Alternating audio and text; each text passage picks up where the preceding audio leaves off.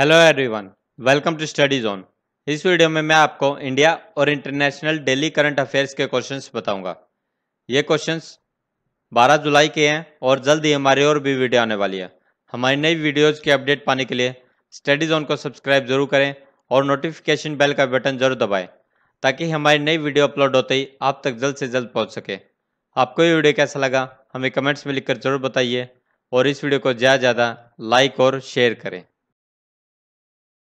आपका पहला क्वेश्चन है, जुलाई 2018 में एशिया कप तीरंदाजी में भारत ने कितने पदक जीते तो इसमें आंसर आएगा, भारत ने कुल चार पदक जीते और इस टूर्नामेंट में दक्षिण कोरिया पहले स्थान पर और ताइवान दूसरे स्थान पर रहा। नेक्स्ट क्वेश्चन है, किस देश ने आर्थिक विकास को बढ़ाने के लिए अरब देशों के साथ तेल और गैस प्लस मॉडल शुरू किया? तो इसमें आंसर आएगा, चीन ने। चीन के राष्ट्रपति शी जिनपिंग ने शीर्ष अरब अधिकारियों को बताया कि अरब राज्यों में आर्थिक विकास के लिए चीन 20 अरब डॉलर का ऋण प्रदान करेगा।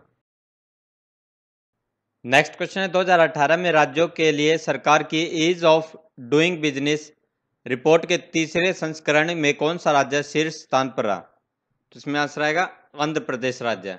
और इसके बाद हरियाणा, झारखंड, गुजरात, छत्तीसगढ़ का स्थान रहा। नेक्स्ट क्वेश्चन है ईज ऑफ़ डूइंग बिज़नेस की रिपोर्ट निम्नलिखित में किसके द्वारा प्रकाशित की जाती है? तो इसमें आंसर आएगा, विश्व बैंक द्वारा। सरकार के इस ईज ऑफ़ डूइंग बिज़नेस कदम का उद्देश्य राज्यों के बीच निवेश को आकर्षित करने और बिज़नेस के माहौल को लेकर स्पर्धा को बढ़ाना है। नेक्स्ट क्वेश्चन है, राज्यसभा के सदस्य अब कितनी भारतीय भाषाओं में, सदन में बोल सकेंगे? तो इसमें आंसर आएगा संविधान की आठवीं अनुसूची में दर्ज 22 भाषाओं में से किसी भी भाषा का प्रयोग किया जा सकता है। नेक्स्ट क्वेश्चन है, निम्नलिखित में से कौन सी भाषा भारत के संविधान की आठवीं अनुसूची का हिस्सा नहीं है? तो इसमें आंसर आएगा अंग्रेज़ी भाषा।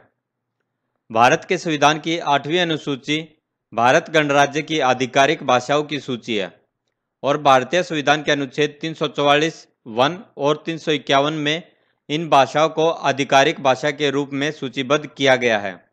और ये 22 भाषाएँ असमिया, बंगाली, बोडो, डोंगरी, गुजराती, हिंदी, कन्नड़, कश्मीरी, कोंकणी, मैथिली, मलयालम, मणिपुरी, मराठी, नेपाली, ओडिया, पंजाबी, संस्कृत, संताली, सिंधी, तमिल, तेलुगु और उर्दू। नेक्स्ट क्वेश्चन है, हाल ही में आई रिपोर्ट के अनुसार ट्विटर पर दुनिया में सबसे ज़्यादा किस महिला नेता को फॉलो किया जाता है? तो इसमें आंसर आएगा सुषमा स्वराज को।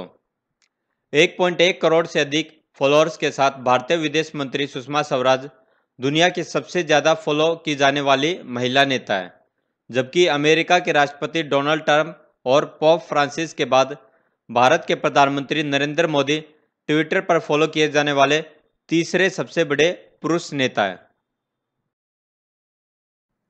नेक्स्ट क्वेश्चन है, इंडोनेशिया के सबांग बंदरगाह में प्रवेश करने वाली पहली भारतीय युद्धपोत कौन सी है? तो इसमें आंसर आएगा आईएनएस सुमित्रा। इंडोनेशिया के सबांग बंदरगाह को विकसित करने का समझौता करने के दो महीने के भीतर ही भारतीय नौसेना के एक युद्धपोत आईएनएस सुमित्रा को वहाँ पहुँचा दिया गया है। नेक्स्ट क्वेश्चन है, प्रतिष्ठित साहित्यिक पुरस्कार की पचासवीं वर्षगांठ को चिन्हित करने के लिए पिछले पाँच दशकों में गोल्डन मैन बुकर पुरस्कार किसने जीता? तो इसमें आंसर आएगा, श्रीलंका में जन्मे कनाडाई कवि और उपन्यासकार माइकल ओंडाटेस की रचना, द इंग्लिश पेशेंट, को पिछले पाँच दशकों में मैन बुकर प्राइज जीतने वाला सर्वश्रेष्ठ उपन्यास घोषित किया गया है। नेक्स्ट क्वेश्चन है, समझौता ज्ञापन पर हस्ताक्षर करने वाले राज्यसभा के पहले अध्यक्ष कौन बने? तो इसमें आंसर आएगा M Venka Naidu next question है. किस हाईकोर्ट ने सीबीएसई को आदेश दिया कि तमिल भाषा में राष्ट्रीय पात्रता व प्रवेश परीक्षा देने वाले उम्मीदवारों को 196 ग्रेस मार्क्स दिए जाए? तो इसमें आंसर आएगा मद्रास हाईकोर्ट ने। नेक्स्ट क्वेश्चन है. हाल ही में किस राज्य की पुलिस ने एक सर्कुलर जारी कर कहा कि बढ़ा हुआ वज़न नहीं घटाने पर स्टेट रिज़र्व पुलिस के कर्मचारियों के खिलाफ कार्रवाई की जाएगी। तो इसमें आंसर आएगा, कर्नाटक पुलिस ने। नेक्स्ट क्वेश्चन है, केंद्र सरकार ने हाल ही में जीएसटी कानून के तहत केंद्रीय जीएसटी राज्य जीएसटी और एकीकृत जीएसटी और राजस्व क्षतिपूर्ति कानून में कितने संशोधनों का प्रस्ताव दिया है? तो इसमें आंसर आएगा टोटल 46 संशोधनों यानी 46 अमेंडमेंट्स का प्रस्ताव दिया है। नेक्स्ट क्वेश्चन है, उत्तर कोरिया के साथ परमाणु निरस्त्रीकरण, समझौते के बाद बना सकारात्मक माहौल बनाए रखने के लिए किस देश ने अपना ग्रीष्मकालीन असैन्य अभ्यास स्थगित कर दिया है? तो इसमें आंसर आएगा, दक्षिण कोरिया ने। नेक्स्ट क्वेश्चन है वर्ल्ड इंटेक्चुअल प्रॉपर्टी ऑर्गेनाइजेशन के अनुसार 2018 में कौन सा देश आईटी सेवाओं के निर्यात के मामले में लगातार दूसरे साल दुनिया में अव्वल रहा। तो इसमें आंसर आएगा भारत। नेक्स्ट क्वेश्चन है, निम्नलिखित में से किस दिन विश्व जनसंख्या दिवस मनाया जाता है? तो इसमें आंसर आएगा 11 जुलाई को। और इस बार की थीम है, family planning is a human right. Next question है, हाल ही में किस स्थान पर एमएसएमई के लिए भारत कोरिया टेक्नोलॉजी एक्सचेंज केंद्र की स्थापना की गई। तो इसमें आंसर आएगा भारत और दक्षिण कोरिया के सूक्ष्म, लघु और मध्यम उद्योगों को साझा मंच उपलब्ध कराने के उद्देश्य से नई दिल्ली में भारत कोरिया टेक्नोलॉजी एक्सचेंज केंद्र की स्थापना की गई। नेक्स्ट क्वेश्चन है, किस देश में स्थित ब्रिटिश सैनिकों की संख्या में बढ़ोतरी किए जाने की घोषणा की गई है? तो इसमें आंसर आएगा, अफ़गानिस्तान में अस्थिर सुरक्षा स्थिति में मदद करने के लिए, वहाँ सैनिकों तथा सैन्य साझा सामान में वृद्धि करने के लिए, ब्रिटिश सरकार अपने सैनिकों की संख्या में दोगुनी बढ़ोतरी करने का विचार कर रही है। नेक्स्ट क्वेश्चन है, गृह मंत्रालय द्वारा 18 जुलाई को आपराधिक कानून संशोधन विधेयक 2018 को मंजूरी के लिए संसद में पेश किया जाएगा, जिसके संबंध में कौन से कथन सत्य है? आपका पहला पॉइंट है 21 अप्रैल को कानूनी अपराध संशोधन अध्यादेश जारी किया गया था। इसके तहत 12 वर्ष से कम की लड़कियों के साथ बलात्कार के दोषियों को मृत्युदंड का प्रावधान रखा है। नेक्स्ट है, महिलाओं के से बलात्कार के मामले में न्यूनतम सजा सात साल से बढ़ाकर दस वर्ष कर दी गई। नेक्स्ट है, सोलह वर्ष से कम उम्र के लड़कियों के साथ बलात्कार के मामले में न्यूनतम सजा दस वर्ष से बढ़ाकर बीस वर्ष कर दी गई। और नेक्स्ट है, सभी मामलों को दो महीनों में पूरा करना अनिवार्य है। तो इसमें आपके ये सभी पॉइंट्स ठीक है तो आपका आंसर आएगा ऑप्शन एफ़ उपयुक्त, सभी सही है। नेक्स्ट क्वेश्चन है, हाल ही में खाद्य सुरक्षा और मानक प्राधिकरण ने स्वास्थ्य एफएमसीजी यानी फास्ट मूविंग कंज्यूमर गुड्स के लिए कौन सा अभियान शुरू किया? तो इसमें आंसर आएगा the eat right movement next question है, हाल ही में भारत कोरिया प्रौद्योगिकी विनिमय केंद्र का उद्घाटन कहाँ किया गया? तो इसमें आंसर आएगा, नई दिल्ली में। नेक्स्ट क्वेश्चन है, हाल ही में विपो यानी वर्ल्ड इंटेलेक्चुअल प्रॉपर्टी ऑर्गेनाइजेशन द्वारा जारी ग्लोबल इनोवेशन इंडेक्स 2018 में भारत की रैंक कौन सी है? तो इसमें आंसर आएगा फिफ्टी नेक्स्ट क्वेश्चन है, हाल ही में किस दूरसंचार कंपनी ने देश की पहली इंटरनेट टेलीफोनी सेवा को लॉन्च किया है। तो इसमें आंसर आएगा बीएसएनएल ने, और इसे विंग्स का नाम दिया गया है। बीएसएनएल उपभोक्ता स्मार्टफ़ोन, टैबलेट या लैपटॉप पर S I P client app download कर इंटरनेट कॉलिंग कर सकेंगे। सिम कार्ड या मोबाइल नेटवर्क ज़रूरी नहीं होगा। नेक्स्ट क्वेश्चन है, हाल ही में भारत ने किस देश के साथ ऊर्जा, खेल, सड़क, जाजरानी सहित 10 समझौते व एक दस्तावेज़ टोटल यानी 11 हो गए, पर हस्ताक्षर किए हैं। तो इसमें आंसर आएगा दक्षिण कोरिया के साथ।